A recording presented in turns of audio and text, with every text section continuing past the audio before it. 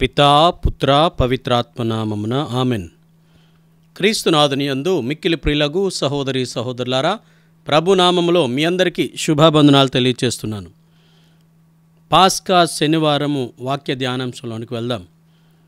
ఒకసారి ఆ యొక్క గ్రామ రచ్చబండ దగ్గర ఆ గ్రామ పెద్దలు వార్డు మెంబర్లు ప్రజలు అందరూ సమావేశమై ఉన్నారు. ఒక ఫ్యామిలీ ప్రాబ్లం నిమిత్తమై అక్కడ తగు జరుగుతుంది. పెద్దలు కూర్చుని వాదిస్తున్నారు. అదేవిధంగా వాదోపవాదాలు వింటున్నారు. అనేక మంది లేచి చెప్తా ఉన్నారు. గోలగోలగా ఉంది. ఇంతలో ఒక యువకుడు లేచాడు. యువకుడు లేచి వాళ్ళందరినీ ఉద్దేశించి మాట్లాడారు.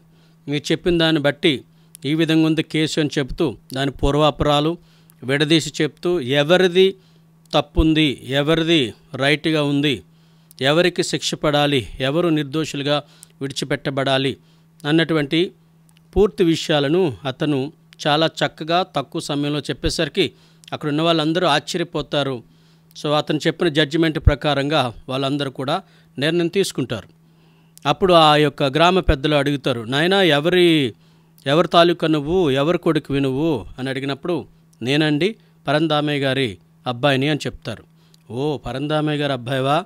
భేష్ తండ్రికి తగ్గ తనయుడవే జ్ఞానవంతుడివే మంచిదయ్యా అని దీవించి పంపిస్తారు. ప్రి సహోదరి సహోదరులారా మన పిల్లల యొక్క ప్రవర్తన బట్టి మాట తీరును బట్టి వారు చదివే విధానాన్ని బట్టి కావచ్చు మన యొక్క తల్లిదండ్రులకి ఆ యొక్క గౌరవము మర్యాద ఇవన్నీ కూడా లభిస్తాయనడంలో ఎటువంటి అతిశయోక్తి లేదు.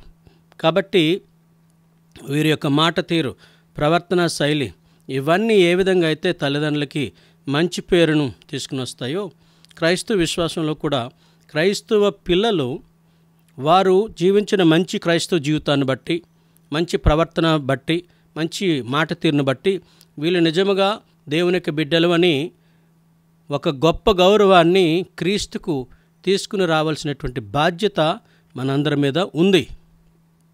ఈరోజు మొదటి పట్టణంలో గనుక మనం ఆలకిస్తే పేతృ యోహానుల్ని ఈ సెన్హెడ్రిన్ సభ వాళ్ళు అరెస్ట్ చేస్తారు.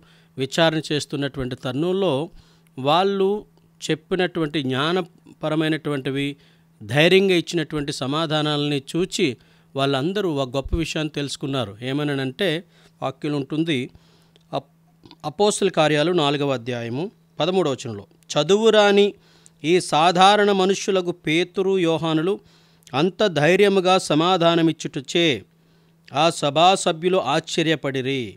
వారిద్దరూ నిజముగా యేసు యొక్క సహచరులై ఉండురని అప్పుడు వారు గ్రహించరు. చూసారా వీళ్ళు సాధారణమైనటువంటి మట్టి మనుషులు సాధారణమైనటువంటి వాళ్ళు.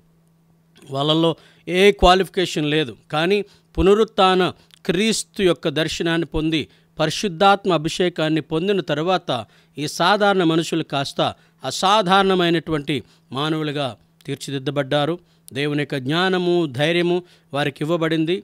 ఆ యొక్క దేవుడిచ్చిన జ్ఞానము ధైర్యముతో మాట్లాడేసరికి అక్కడ ఉన్నటువంటి జ్ఞానులము అని చెప్పుకుంటున్నటువంటి పరిచయులు ధర్మశాస్త్ర బోధకులు వాళ్ళందరూ ఆశ్చర్యపడ్డారు. అప్పుడు తెలుసుకున్నారు ఏమని? వీళ్ళు నిజముగా యేసుక్రీస్తు యొక్క శిష్యులు అని.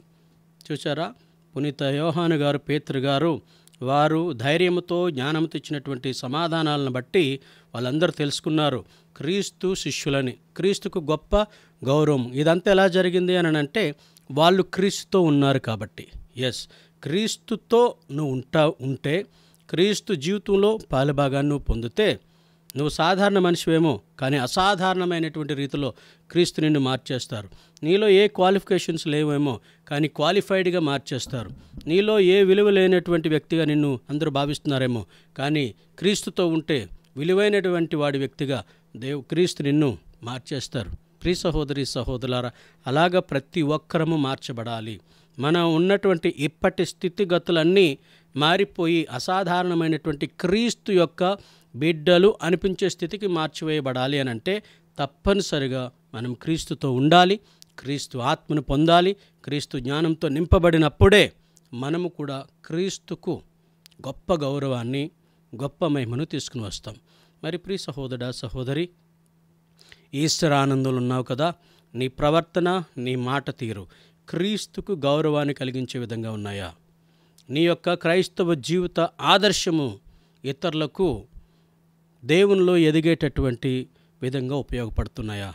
ఆలోచించు. ప్రార్థించుదాము. సర్వశక్తి గలని సర్వేశ్వరా నీకు స్తోత్రాలు ప్రభా. నీకు గొప్ప మహిమని భూలోకంలో తీసుకుని వచ్చింది నీ ప్రియమైన కుమారుడైనటువంటి క్రీస్తు ప్రభువే. దయగల మా ప్రభువ ఆ ప్రభుని యొక్క ఆత్మను పొందినటువంటి మేమును మా మాటలలో మా క్రియలలో మా యొక్క సువార్త సేవలో అన్ని విధాలుగా క్రీస్తుకు నీకును తగినంత గౌరవాన్ని మహిమను తీసుకుని వచ్చడానికి కావలసినటువంటి కృపనివ్వండి శక్తినివ్వండి. నీ యొక్క కారుణ్యమును దయచేయండి. ఈ ప్రార్థన మన ఆదరణ క్రీస్తు ద్వారా మేము వేడుకొనిచున్నాము. ఆమెన్. సర్వశక్తి గలని సర్వేశ్వరుడు పిత పుత్ర పవిత్రాత్మ మిమ్మందరినీ ఆశీర్వదించి కాచి కాపాడుదురుగాక. ఆమెన్. God bless you.